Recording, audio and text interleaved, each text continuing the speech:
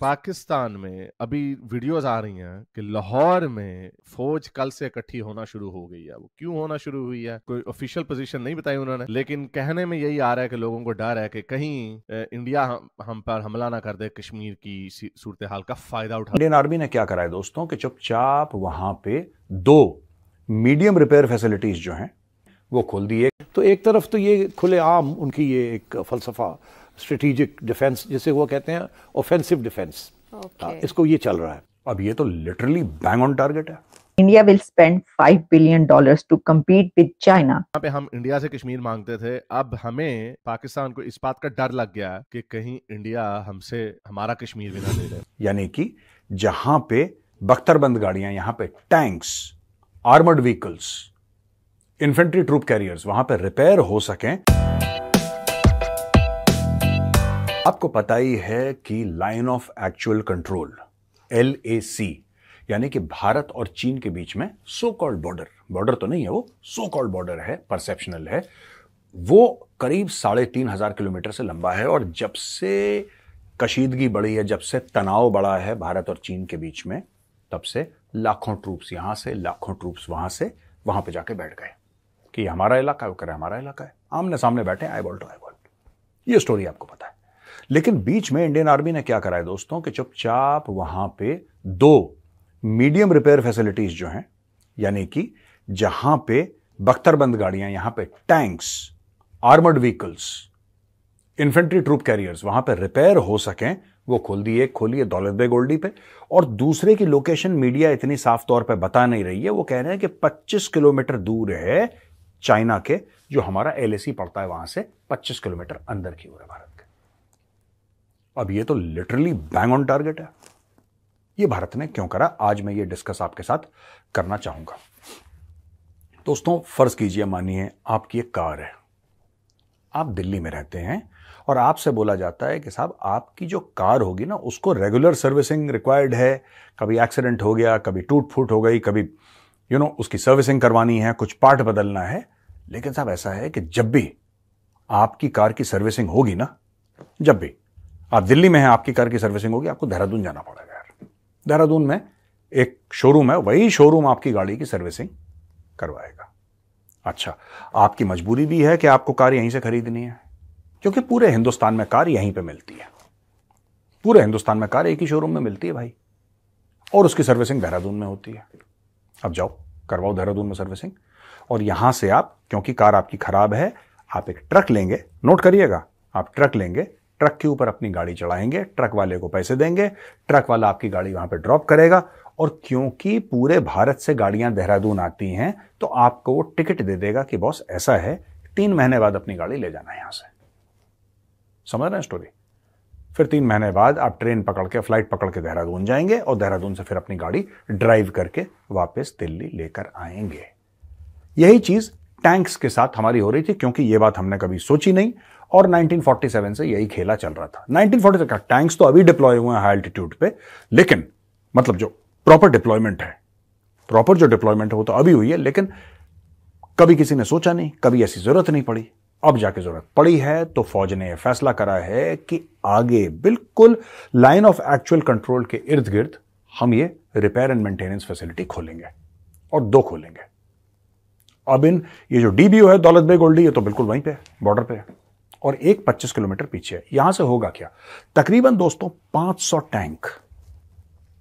500 tank और infantry troop carrier जो कि बख्तरबंद गाड़ियाँ हैं, जो कि आर्मर्ड हैं in the sense of their bullet proof and their mine proof et cetera ये यहाँ पे डिप्लॉयड है। 500 टैंक कम नहीं होते दोस्तों। मतलब आप ये लगा लीजिए, एक आर्मर्ड रेजिमेंट में कितने, चालीस या पैंतालीस टैंक होंगे। Memory serves me right I could be mistaken but मैं इतना ही याद कर पा रहा हूँ इस बार कि एक आमर्ड रेजिमेंट में करीब पैंतालीस टैंक होते हैं। I could be wrong maybe an armoured corps officer can correct me if I am wrong but इतने टैंक होते अब हुआ क्या है? कि आप ये लगा लीजिए कि कितनी रेजिमेंट्स आर्मड की लगी है वहाँ पे। 500 टैंक है वहाँ पे। और आई एम श्योर वहाँ पे बीएमपीज भी होंगे। आई एम श्योर वहाँ पे बीएमपीज भी होंगे। और वहाँ पे दुनिया की दस चीज़ें और होंगी।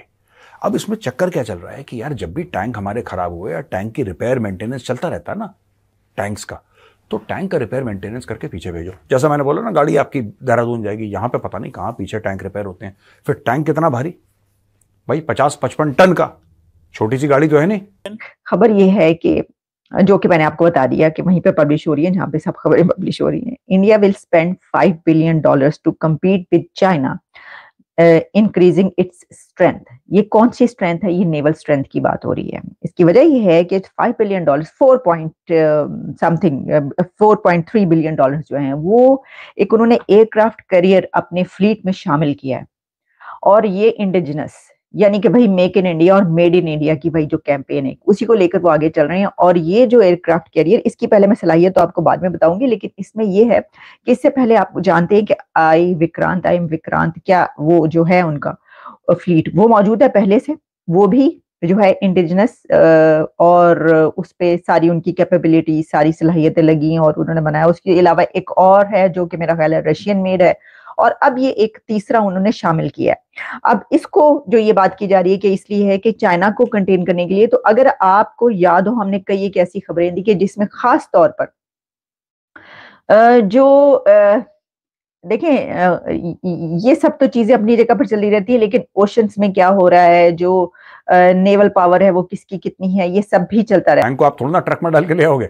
क्योंकि टैंक का देन फिर और अदर लॉजिस्टिक्स रिक्वायर्ड है तो वो टैंक जब तक गए, और 500 में से एट अ टाइम आप ये समझ लीजिए कि भाई 20 50 तो रिपेयर होते रहते हैं सर्विसिंग उनकी होती रहती है, घूमते रहते हैं, इतने लोग जाते रहते हैं। यानी कि जो आपके पास एक्चुअल टैंक बॉर्डर में है, वो कभी 500 नहीं होते। वो 400 सवा चार सौ चार सौ, सवा चार सौ के आसपास वो हिलते रहते हैं। यानी कि आपको तो ऐसा लग रहा है कि 500 टैंक है, लेकिन 500 है नहीं, क्योंकि रिपेयर भी चाहिए मेंटेनेंस भी चाहिए पार्ट चेंज भी चाहिए, ये चाहिए, वो चाहिए सर्टिफिकेशन दुनिया भर का तामझाम। अब ये दोनों जो जगह बन गई हैं, एक दौलत बेग ओल्डी में और एक 25 kilometre line of actual control के पीछे तो अब ये टैंक पीछे नहीं जाएँगे। अब ये टैंक बगल में जाएँगे। ये टैंक बगल में जाएँगे और बगल में जाने के बाद रिपेयर होकर फटाफट कुछ दिनों में ये वापस आ जाएँगे। तो जो फोर्स लेवल्स हैं, वो वहाँ पे मेंटेन करने की बहुत ज़रूरत है और वो फोर्स लेवल वहाँ पे मेंटेन हो पाएँगे। अच्छा आर्मी का एक और चीज़ सोचनी है कि जैसे कि वेपन्स भी हो गए, और सिर्फ़ टैंक्स नहीं, वहाँ पे तो कई किस्म के वेपन्स हैं। राइट लेकिन वो जो स्मॉल आर्म्स हैं, वो तो लोकली रिपेयर हो जाते हैं आपके। जैसे राइफल है मशीन गन है पिस्टल्स हैं, ये सब जो छोटे छोटे हथियार हैं, वो तो लोकली रिपेयर हो जाते हैं, लेकिन बड़े हथियार की हर समय प्रॉब्लम रही है। बड़े हथियार की, क्योंकि उसके लिए आपको वर्कशॉप भी वैसी चाहिए, आपको रिपेयर एंड मेंटेनेंस फैसिलिटी भी वैसी चाहिए। एंड उस ऑल्टीट्यूड में ये काम करना बड़ा मुश्किल है। जहाँ पे इन्होंने पूरी फैसिलिटी बनाई है दोस्तों, वहाँ पे दस कदम चलना, दस कदम चलना बहुत मुश्किल है। अब वहाँ पे एक और चीज़ आई। चाइना ने कुछ पहले वहाँ पे लाइट टैंक्स डिप्लॉय करे। अब जो ये टी नाइनटी है टी नाइनटी जो भारतीय टैंक है, रशियन टैंक है, बट इंडिया में भी बनता है वो तो उसका वज़न कितना होगा? पचास टन, पचपन, अब ये तो भारी टैंक हो गए। और उस ऑल्टीट्यूड पे चौदह हज़ार, पंद्रह हज़ार, सोलह हज़ार, सत्रह हज़ार, अठारह हज़ार मतलब काफ़ी ऑल्टीट्यूड पे हवा की कमी extreme temperature minus thirty minus forty minus fifty उस टेम्परेचर पे आपको एक टैंक चाहिए। आपको लाइट टैंक चाहिए। आपका टी नाइनटी वहाँ पे अर्जुन इतना कामयाब नहीं होगा।